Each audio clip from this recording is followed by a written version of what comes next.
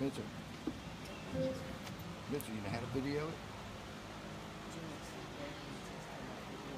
Let me see. You got it?